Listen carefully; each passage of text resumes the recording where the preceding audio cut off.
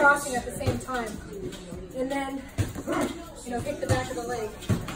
So for the top, it's down across the body, measure, measure, switch, and then hit to the back, sorry, hit to the back of the leg. And when I do that kick to the back, I think I kind of do a little bit of a shuffle. So I think I, I think I bring my back leg towards my front leg,